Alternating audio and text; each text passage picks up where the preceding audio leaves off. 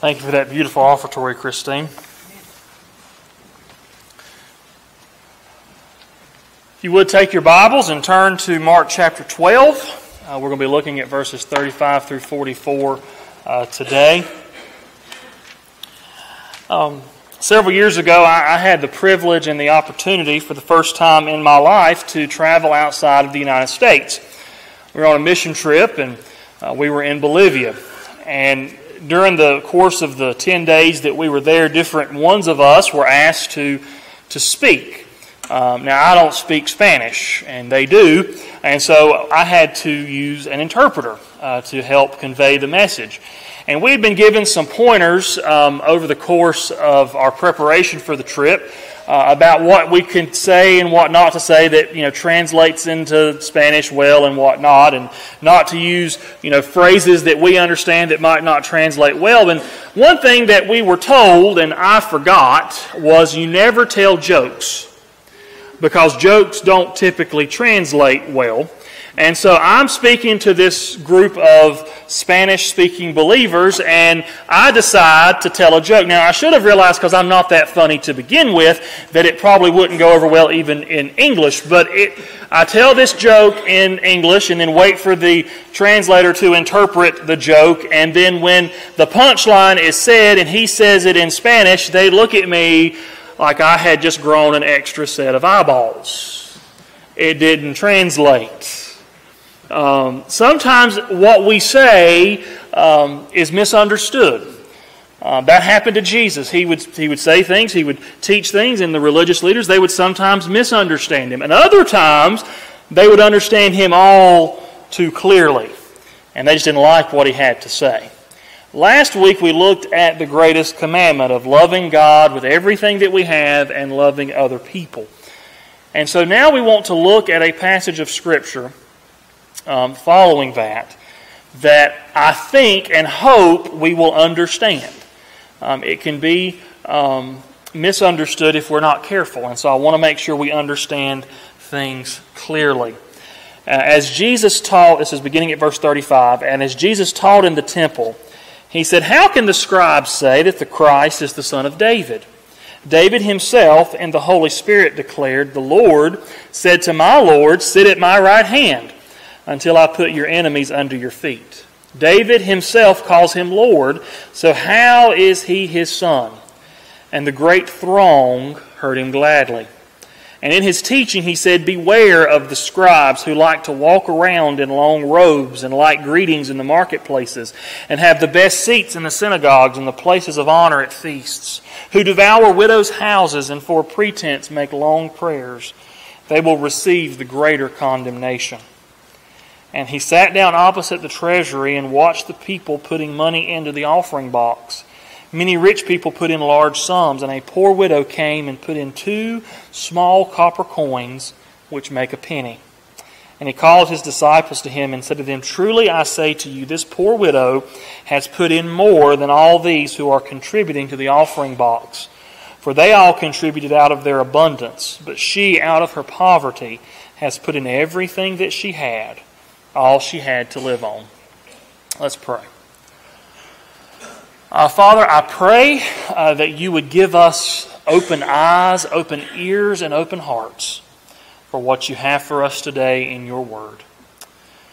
May we hear clearly and may we understand by the understanding that you give us. It's in Jesus' name that we pray. Amen.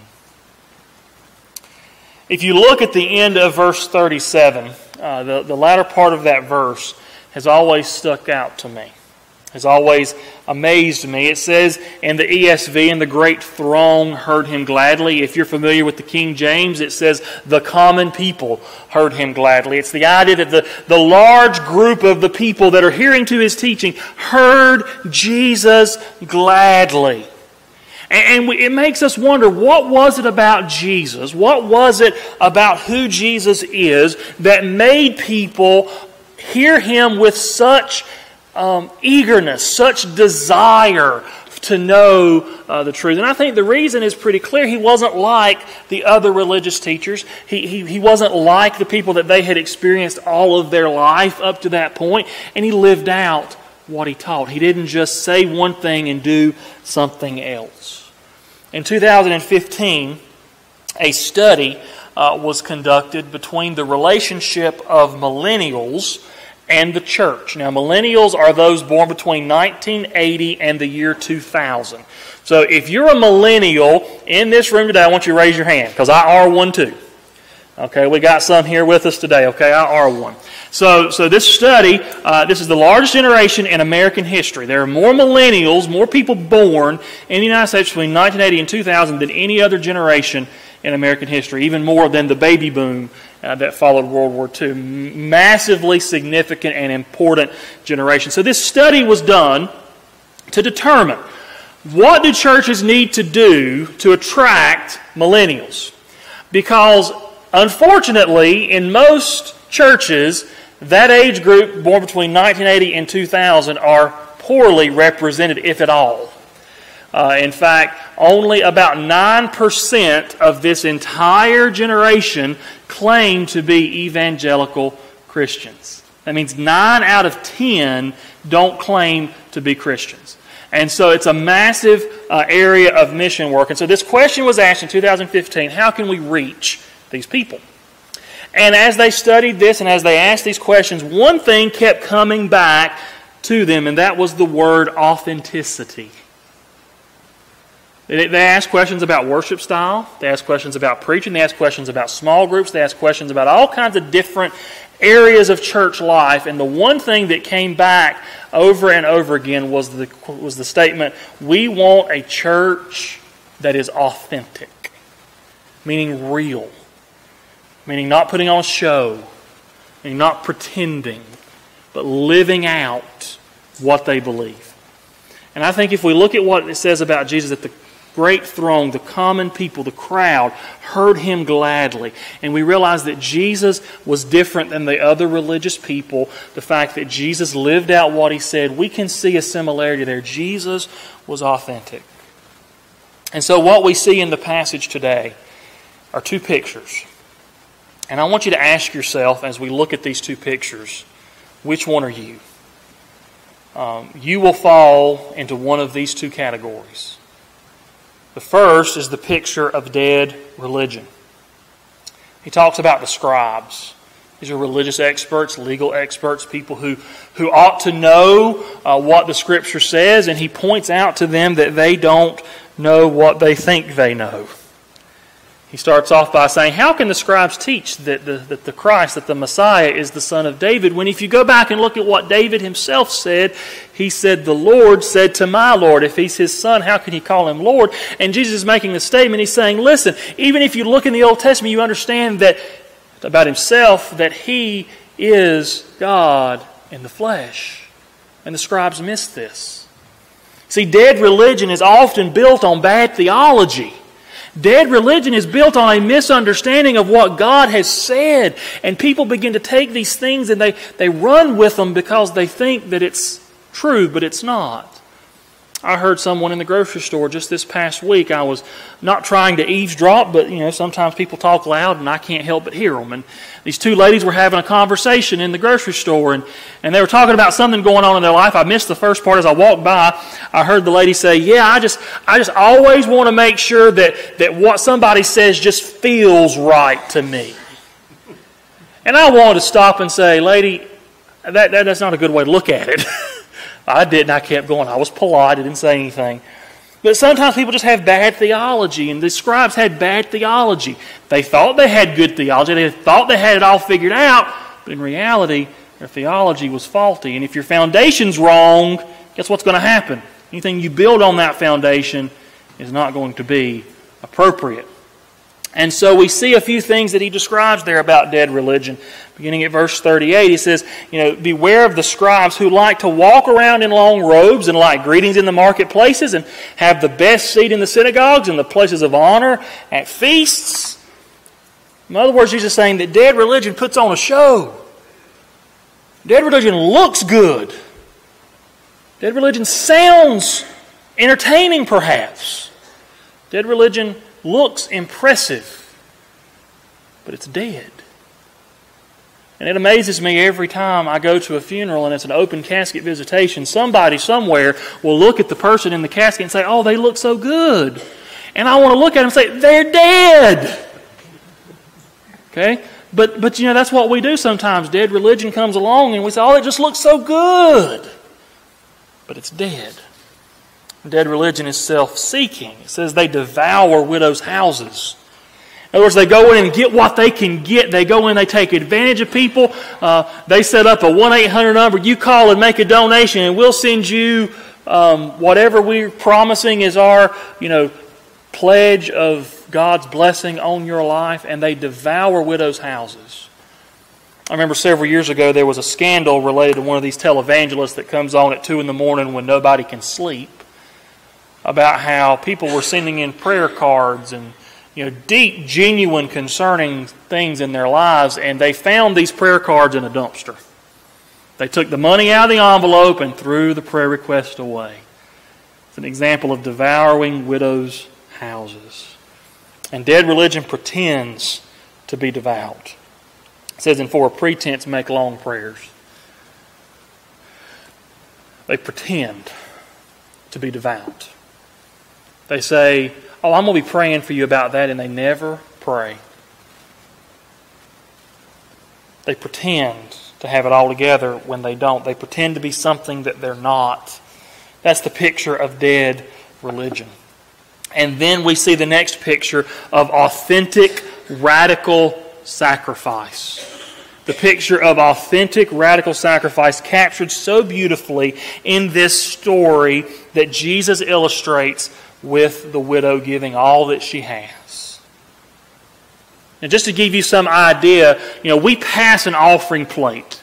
So it's possible that you can, you can give and nobody see you give, nobody knows what you give. In the temple, it didn't work that way. Had big boxes set up. And if you wanted to give, you had to come up and you had to put your money in. And, and it was, had a metal opening to it. And so with coins, if you have coins and you have a metal opening, if you put a lot in, it makes a big noise.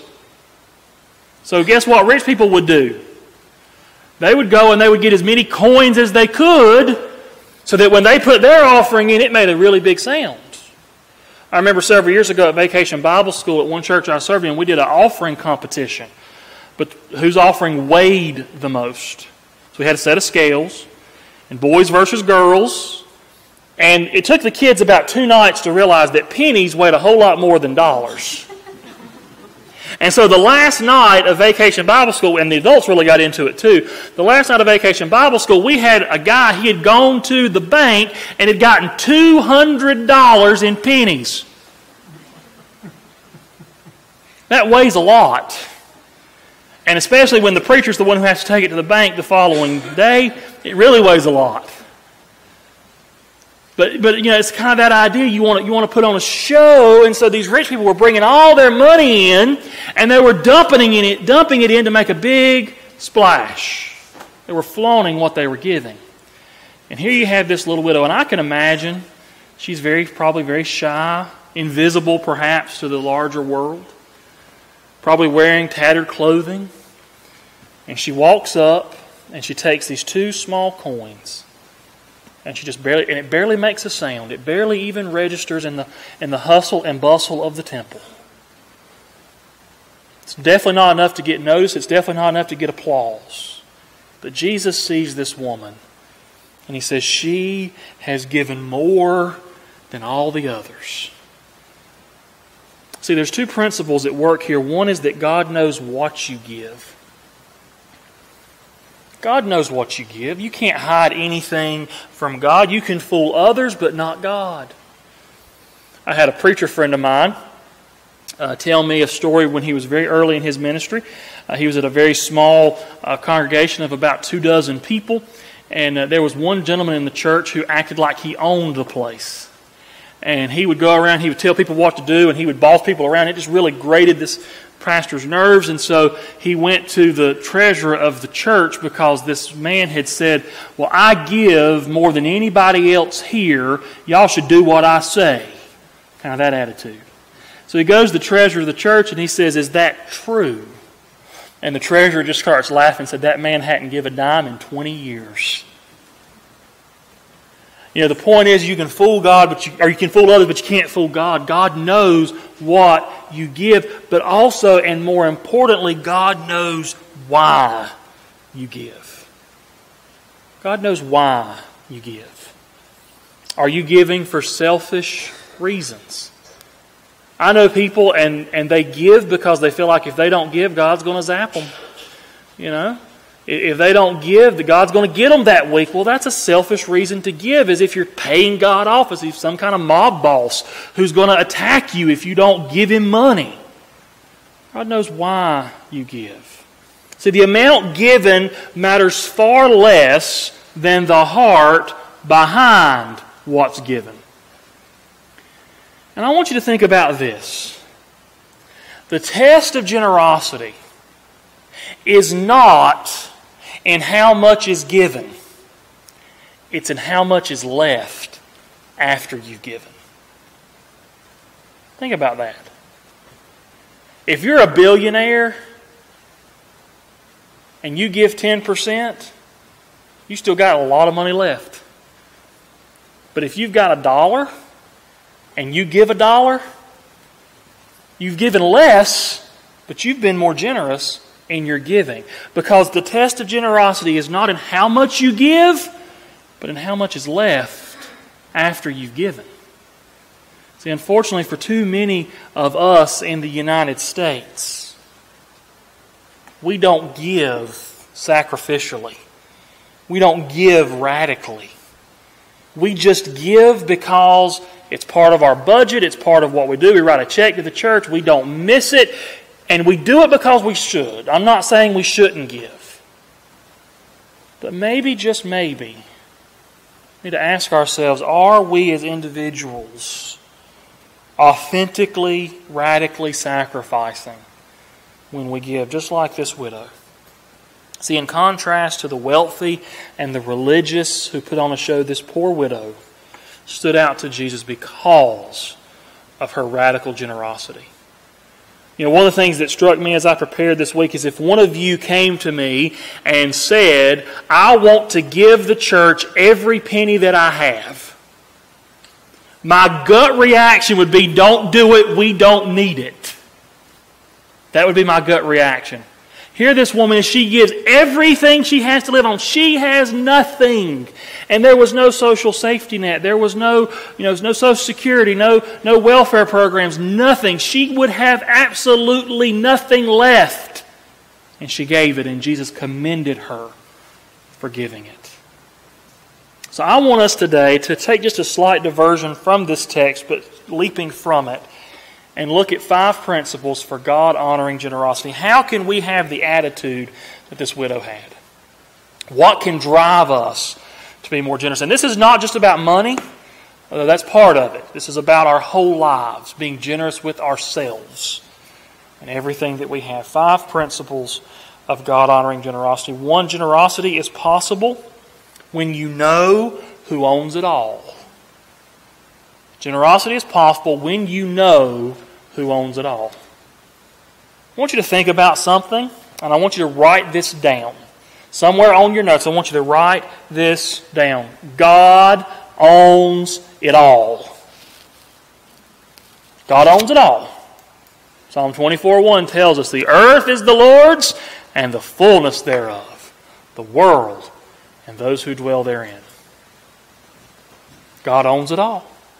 There's not a thing on this planet, there's not a thing in this universe that God does not own. When we get that right, it changes everything because we go from owning it to just being a manager of what God has blessed us with. And so it's my responsibility, it's your responsibility to see everything I have been given and to use it all for the glory of God. The mistake that many Christians make, and and I've made this mistake in my own life, is to believe that God asks for 10% and we can do with the 90% what we want. And that's not true. It's all His. He asks for 10% minimum as a means of carrying on the ministry of His church. But all of it, all 100% of it is His. And so when we go to buy something, when we go to use the money that God has given us, when we go to use the stuff that God has given us, instead of asking, can I afford it?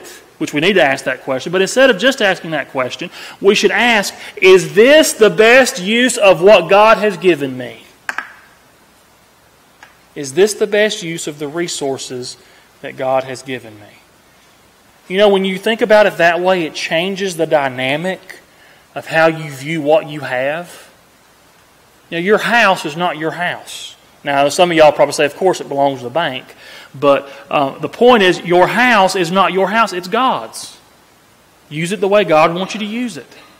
Your car is not your car, it's God's car. Use it the way God wants you to use it. Your toys are not your toys.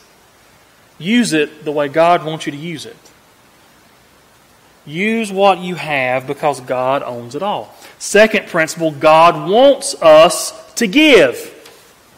Here's a secret. You may not realize this. If God owns it all already, God doesn't need your money. I want you to think about that. It, we we got to get out of the attitude of thinking that, that if I give, I'm giving because God needs it.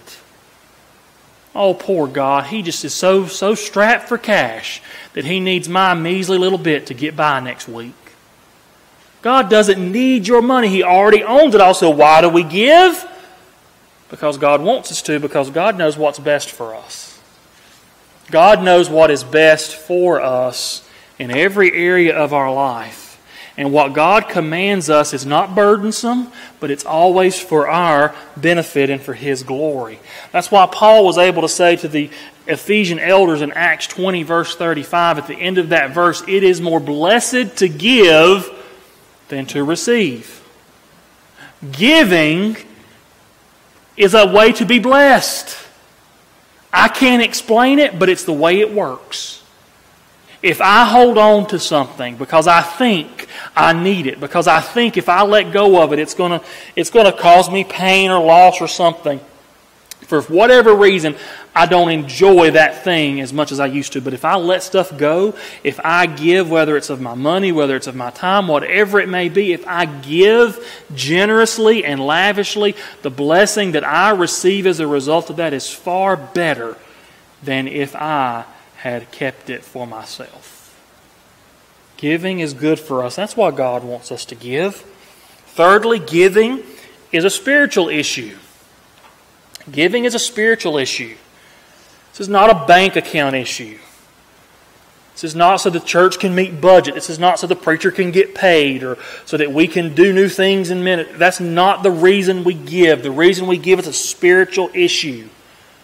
Jesus said in Matthew 6 24, 1 For where your treasure is, there your heart will be also. My experience as a human being and as a pastor has shown me something, and that is that the path of sin and spiritual failure often treads through the bank account. I, I have noticed in my life that when there begins to be spiritual issues in people's lives, one of the first areas to, to show that is in their giving. It may not be money, but it may be in volunteering, it may be in service, whatever it might be. See, giving shows what we value and who or what we trust. It's a spiritual issue. It shows where we put the, the focus of our lives.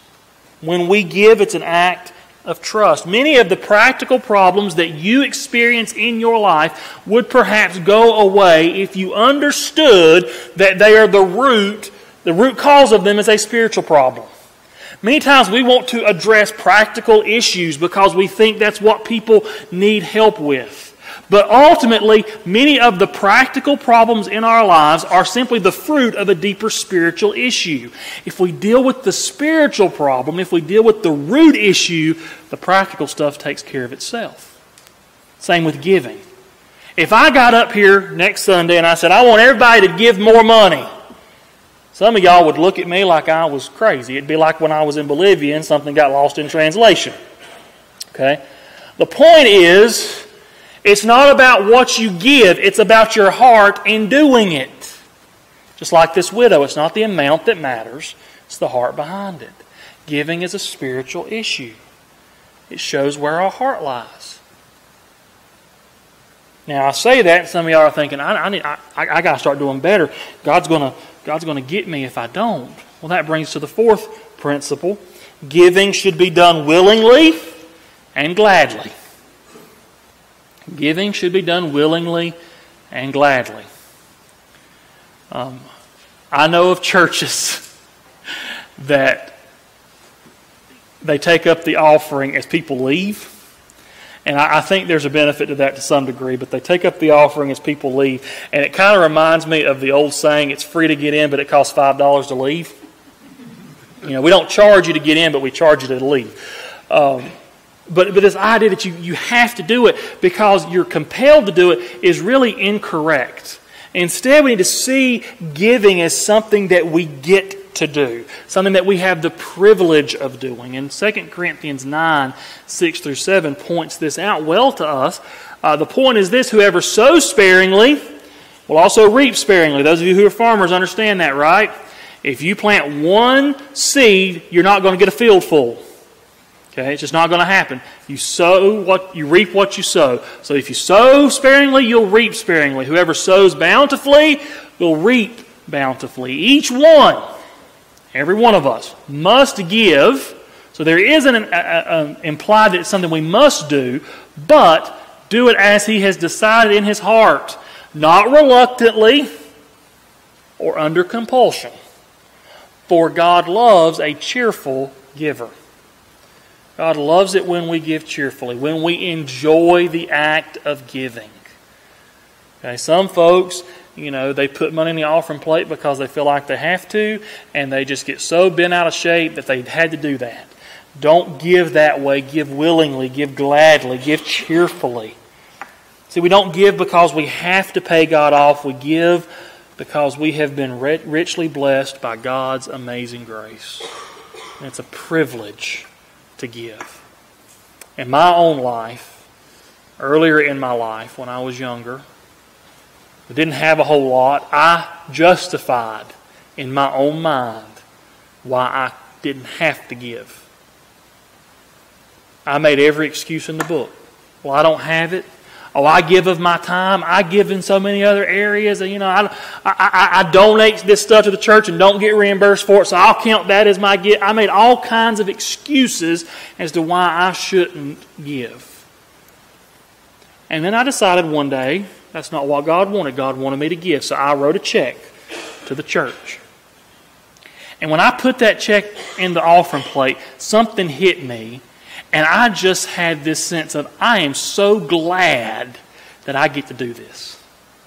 And I just almost started laughing that I had deprived myself all those years of a blessing of being able to give willingly and gladly.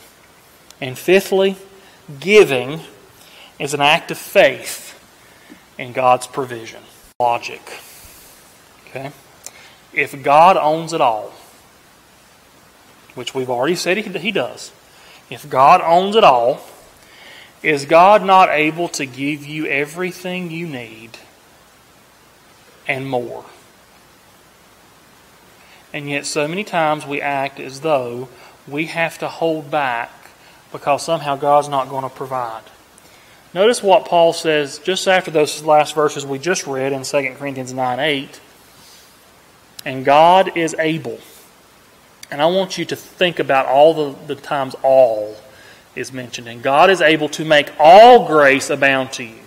So that having all sufficiency in all things at all times, you may abound in every good work. God is able to give you what you need. He is able to give you all that you need. He's able to give you more than you need. Philippians 4:19 reminds us that God will supply every need of yours according to his riches in glory in Christ Jesus. He is able to meet every need of yours. Had someone just a few weeks ago ask me the question that they had had some money that they had wanted to give to the church, but they just felt like they couldn't because they, they were afraid that they would need the money for something. They needed it for whatever was coming up in their life, and they were afraid that if they gave the money to the church, that they would be without. And so, in conversation with this person, I said, I said, I'm not going to tell you what to do. I'm not going to tell you, yes, you got to give the money because you got to decide in your own heart what God wants you to do. I said, but I guarantee you this if you give that money, you will not miss it, and God will meet every need you have. And I don't know if they did or not, but they said they were going to. And the point is, is that in doing this, it's an act of trust, an act of faith. When we write a check or give time or give talents to the church, here's what we're saying God, I have a limited amount of whatever it is money, time, whatever. I've got a limited amount of it. But God, I trust that you have an infinite amount. And if I give this little portion, God, I trust that you can make up any deficiencies in any other area of my life. So here's the challenge for us today. I want us to look at your life. Look at your life and ask yourself Am I the picture of dead religion? Am I just putting on a show? Am I just pretending? Am I just acting a part? Or am I living a life of authentic, radical sacrifice? It starts by asking ourselves if we've given our life completely to Jesus. I'm not asking, have you said a prayer or have you been baptized? I'm asking, have you given your life to Jesus? Maybe you have, and maybe the stresses of life have just gotten in the way, and you need to rededicate your life to Him today. But maybe you need to decide that today you are going to give. Not just money, but yourself. Everything that you have. Now, your time is more valuable than money. You can make more money, you can't make more time. Your time is really more valuable than your money. You need to trust Jesus more than you trust yourself, more than you trust the stuff in your life, more than you trust the amount in your bank account. You need to trust Him completely. Do you trust, do you believe that God is able to meet your needs? And then the question that has been ringing in my mind for weeks now is what would happen if we as a church gave more of our time, gave more of our talents, gave more of our commitment, and yes, our money? You know what would happen? We could reach this world for Jesus. If we're going to reach the next generation, if we're going to reach those that are lost in our community, it requires sacrifice. It requires us saying, What I have is not mine, it belongs to God. I will do whatever it takes with whatever God has given me to see God's kingdom furthered in this world. When we make that kind of commitment, when we make that kind of sacrifice, when we make that kind of decision, God takes that, God blesses it, and God does beyond anything we could ever imagine with it. Stop holding back because you're afraid. Trust God and see what God can do. Let's pray. Father, I thank you. I thank you that you show us so clearly in your word that you own it all and that you ask us to give all that we have to you. And so, Father, I pray during this time as we sing, as we respond, that you would stir our hearts to know what needs to be done. Father, if we need to commit our lives to you, Father, don't let us leave here without having done that. Father, if we need to recommit ourselves to you, Father, if we need to decide today that we're going to give of what you have blessed us with, Father, it's an act of trust, it's an act of faith. And yes, Father, it's costly, but it is more blessed to give than to receive. Speak to us now during this time. As you have already spoken to us up to this point, continue to speak to us now. It's in Jesus' name that we pray. Amen.